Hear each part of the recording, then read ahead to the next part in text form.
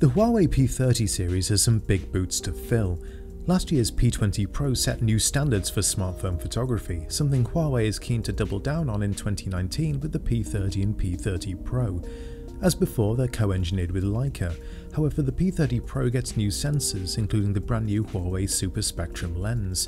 That replaces the regular red-green-blue colour filter with a red-yellow-blue version, allowing in far more light. In fact, the P30 Pro can crank all the way up to a record-breaking 409,600 ISO. You get 40 megapixels and optical image stabilization. Then there's the 5x optical periscope zoom.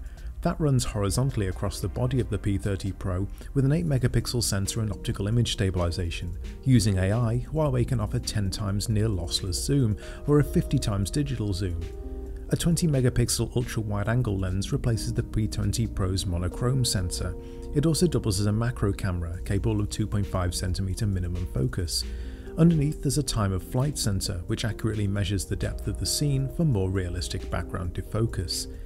One of the new artificial intelligence talents is AI HDR Plus for portrait shots. That creates an exposure map, segmented based on light, then AI applies the right amount of HDR to each portion of the frame. The P30 compromises a little on the specifications to keep the price down. You still get a super spectrum lens, but without OIS and with a maximum 204,800 ISO. There's a 3x optical zoom too, and it doesn't use the fancy periscope system. On the front, the P30 Pro has a 6.47 inch curved OLED screen, while the P30 has a 6.1 inch flat screen. Both have an in-screen fingerprint sensor, which Huawei says is highly improved over the Mate 20 Pro.